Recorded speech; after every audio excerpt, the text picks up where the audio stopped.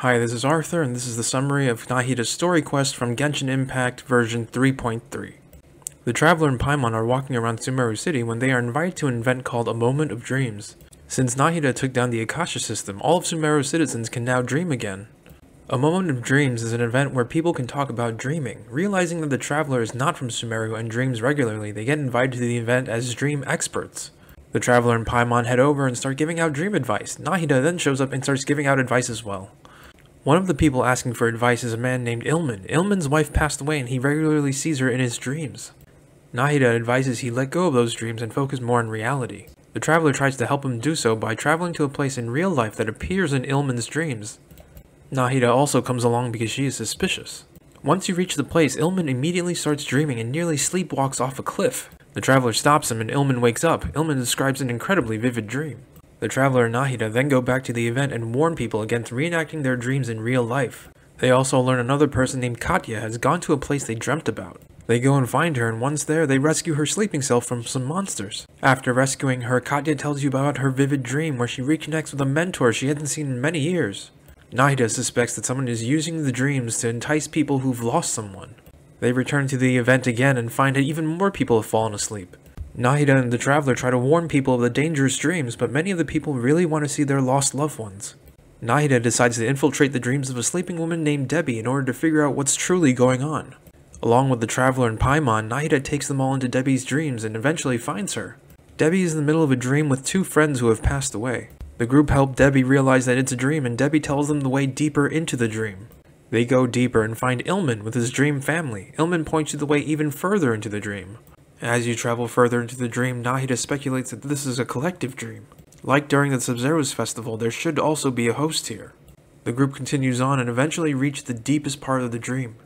There you meet Mosaeus, the creator and host of this collective dream. Mosaeus is a scholar who originally uploaded his entire consciousness into the Akasha system in order to create a dream version of a woman named Amira. Amira was someone Mosaeus loved and died from illness. Mosaeus created this dream by secretly implanting devices into various people in Sumeru City in order to create a sub-network of dreams and to siphon Yana energy.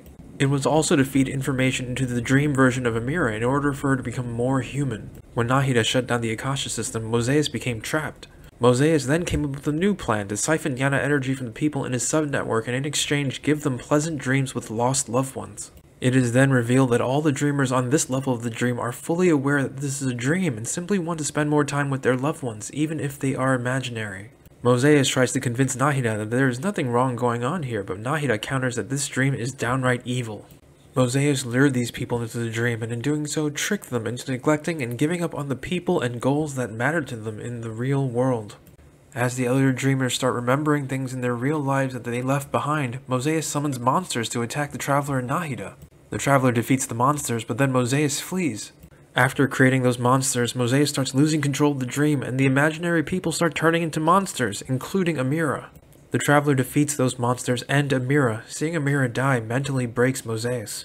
Mosaeus asks Nahida to let his consciousness disappear with the dream, but Nahida says there is a way to implant his consciousness back into his body and that Mosaeus will not escape punishment. The traveler and Nahida wake up and return to the real world. They learn that people have started waking up all over the city and are retelling what happened in the dream. The group then travels to the Academia to confirm what happened to Mosaeus, implant his consciousness in his body, and inform the Matra to arrest him. They then return to the event to speak to everyone who has woken up. Nahida apologizes for waking them up, but encourages them to appreciate what is around them and to move forward with their lives.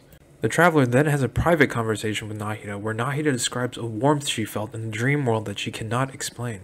The traveler, knowing the true history of Rukkhadevata and the effect that had on Nahida, knows exactly where that warmth came from. The traveler then decides not to tell Nahida the truth about Rukkhadevata because even without that knowledge, Rukkhadevata has clearly had a positive effect on Nahida's life. And that is the end of this quest and this video. I hope you enjoyed watching this as much as I enjoyed making it. If you've liked what you've seen here, please like, comment, and subscribe.